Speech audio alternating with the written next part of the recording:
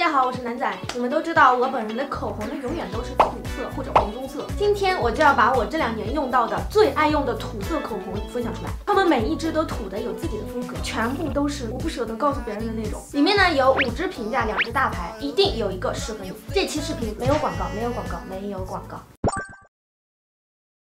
第一支 elf 的 blushing brown，这一支我到手真的有三年了吧。它的质地稍微有一丢丢干，你可能要抿一抿它才均匀，但是它也不是干到掉渣的那种。它呢是属于很持久的一个口红，上色很浓郁。涂之前最好是先用唇膏打底，然后再擦掉唇膏，再去上它，这样就比较顺滑。这个呢是一个比较深的土色，还带有一丢丢的豆沙色，配合好妆容饰品就有气场，也很欧美。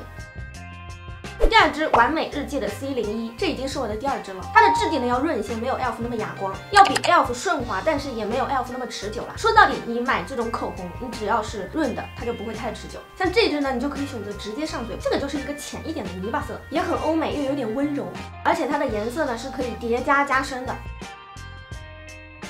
第三支呢，还是完美日记色号 G 幺幺，这支是我常年极力推荐给你们的，而且在这个双十一这个色号啊，它都已经买断了，还有人说它要停产了，真的吓得我。我觉得完美日记反重力唇釉做的最好的就是质地非常非常薄，像水一样，而且成膜快，上嘴没有什么存在感。颜色的话，我感觉就像是唇釉版本的 elf，很浓郁的一个土色，里面带一丢丢的豆沙色，而且这个颜色呢是可以叠加的，厚涂那个气场越来越强。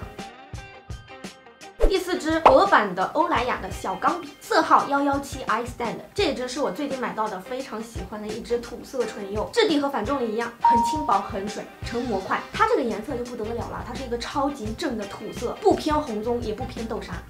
上嘴之后，你出门气场可以杀人的那种，太好看了。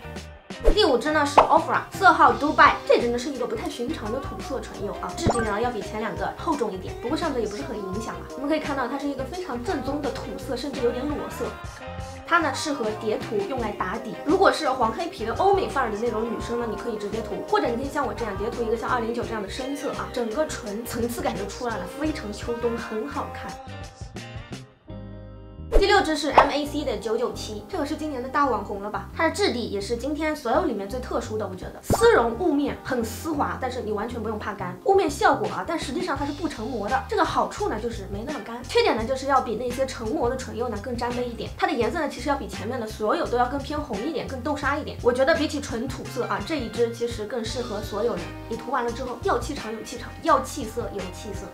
最后一支了啊，迪奥的六幺四。首先和大家说一下啊，这支呢它停产了，应该是很难买到，但是颜色不错，还是想跟大家分享一下。我个人觉得它是今天所有的口红唇釉里面质地最厚重的一个，而且它的成膜我觉得稍微有一丢丢慢，但是呢胜在它的颜色好看，它带一丢丢的粉在里面，上嘴呢比较浅，搭配好衣服的话，我觉得嗯还是很欧美的。